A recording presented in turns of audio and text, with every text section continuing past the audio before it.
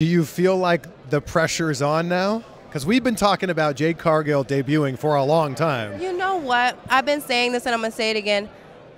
I make diamonds under pressure, so it's fine. Like, I love pressure. Being an athlete, being a pure athlete all my life, I'm the one that wants to have the ball in their hand to make that last shot. Like, I'm that person to to win that game. So I'm excited. There's no pressure for me. Everybody keeps asking, like, are you nervous? Are you nervous?